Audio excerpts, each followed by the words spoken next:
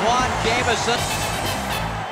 The Virginia Cavaliers are one win away from a second ACC title in three years. It's time for Twan's take on the Cavaliers. He's Antawn Jamison. I'm Jeff Fischel. Okay, what would a win for the Hoos mean for their season and what they've accomplished so far? Uh, it will mean a lot. You know, you got to think about this was a team that was struggling in January, and uh, a lot of people thought this was a top 10, top five team.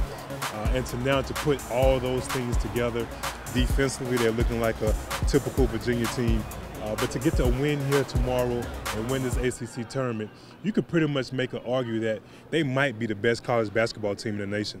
Uh, there's no doubt since February 1st, since somehow pulling out that win at Wake Forest, they have been incredibly impressive and they have turned up the Tony Bennett type defense. Okay, now let's look ahead.